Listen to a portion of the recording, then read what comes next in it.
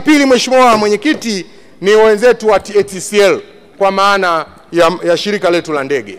Mheshimiwa Mwenyekiti, kwa muda mrefu tumeendelea kuboresha shirika letu na kwenye kamati imeelezwa vizuri. Eneo hili Mheshimiwa Mwenyekiti, nitaongea maneno mawili ili uweze kukuza uchumi wa nchi hii. Ukiboresha shirika la ndege utaenda kuongeza thamani ya utalii, watalii wengi watakuja, lakini biashara zinazofanyika kwenye maeneo mbalimbali duniani, ukiwa na ndege yako mwenyewe utakuwa na uhakika wa biashara.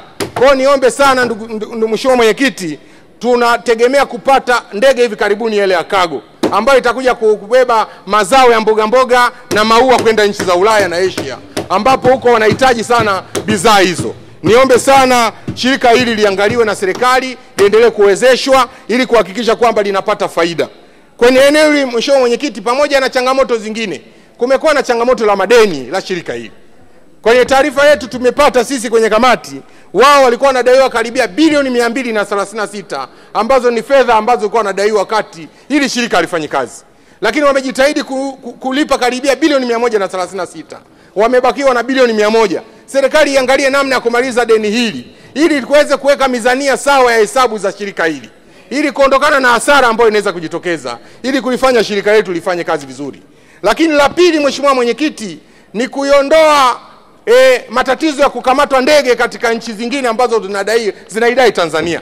Tumekuwa ndege hizi zinashikwa, sio ATCL inadaiwa, inadaiwa serikali, lakini kwa sababu shirika la ndege halimiliki zile ndege, ili hizi kazi zinamilikiwa na, na, na, na, na wakala wa ndege za serikali ATGF.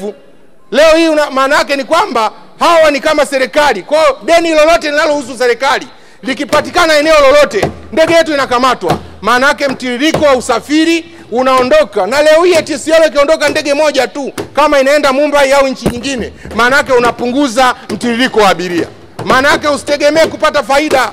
Leo hii CAG ataenda kuona kila siku shirika linapata hasara, kwa sababu ni mpango ambao tumeuweka wenyewe. Niombe sana Mheshimiwa Mwenyekiti, serikali iangalie uwezekano wa kurudisha ndege hizi ATCL ili ziweze kumilikiwa na shirika la ndege lenyewe ili kuleta faida na kuifanya shirika letu liweze kufanya kazi vizuri, ambacho ni mzigo mkubwa. Mheshimiwa Mwenyekiti, leo hii shirika la ndege linalipa karibia milioni mia saba kwa ajili ya kukodisha ndege za serikali. Hivi serikali na serikali zinakodishana, kuna haja gani? Mheshimiwa Mwenyekiti, ndio maana shirika letu haliwezi kuendelea kwa sababu linakwazwa na mambo mengi. Niombe sana kwenye eneo hili, Mheshimiwa Waziri atakaporudi atuambie ni mpango gani wa serikali umefikiwa kwa ajili ya kurudisha ndege hizi ATCL kuondoka kwenye wakala wa ndege wa serikali ili kuondokana na changamoto ambazo shirika linapata. La tatu, Mheshimiwa Mwenyekiti, ambalo la mwisho ni swala la bandari. Bandari ni lango kuu la biashara. Mheshimiwa Mwenyekiti, bandari yetu kwa maana ya mkao wa kijiografia, bandari yetu ya Dar es Salaam imekaa vizuri sana kistratejia. Bandari hii tukitumia vizuri inaweza ikaleta mapato mengi kuliko eneo lolote. Leo hii pamoja na mchango inayotoa, lakini bado haitoi mchango wa kutosha. Niombe sana Mheshimiwa Mwenyekiti, tumeboresha sana gati namba nane mpaka kumi na moja. Tumeweza kujitahidi kuongeza e, e, ma, masuala ya usalama katika bandari ni sawa, lakini tumeongeza kreni ambazo bado ni kidogo sana, kreni mbili zile zinazofanya kazi pale. Tukiangalia bandari zingine ambazo ziko kama Mundra kule India, kule Dubai na nchi nyingi, bandari zingine zinafanya kazi vizuri, Mheshimiwa Mwenyekiti. Lakini tumeongeza mapato bilioni mia saba mpaka trilioni moja tu, ambayo kimsingi ukiangalia hizi fedha bado ni ndogo kwa bandari yetu ilivyokaa. Nchi nane zinategemea bandari ya Dar es Salaam. Maana yake ni kwamba tukiboresha vizuri, bandari ya Dar es Salaam itakuwa ni jibu la fedha ambazo hatuzipati katika maeneo mengine. Kwa hiyo niombe sana Mheshimiwa Mwenyekiti, pamoja na, na mambo haya, changamoto chache zinakwaza bandari yetu. La kwanza, bado hatujakuwa na mifumo ya kusomana ambayo inaweza kumsaidia mteja kuvutika kuja kufanya biashara na sisi. Niombe sana Mheshimiwa Mwenyekiti, tuhakikishe kwamba tunaangalia namna ya kumleta mwekezaji ambaye atashirikiana na serikali. Sio jambo la dhambi. PPP imetajwa kwenye sheria za nchi yetu. Tusiwe waoga wa Tanzania tunapotaka kubadilisha maisha ya Watanzania wetu. Tukiweza kuwekeza vizuri kupitia mwekezaji, naam, itasaidia sana. Mheshimiwa, dakika moja nimalizie, ni conclude hoja. Malizia Mheshimiwa, sekunde 30 muda wako umeisha. Asante sekunde 30, Mheshimiwa Mwenyekiti. Niombe sana Watanzania tu, tuwe waoga kwenye mambo ya msingi ili kuhakikisha kwamba tunaweza kubadilisha na kuongeza uchumi wa nchi yetu.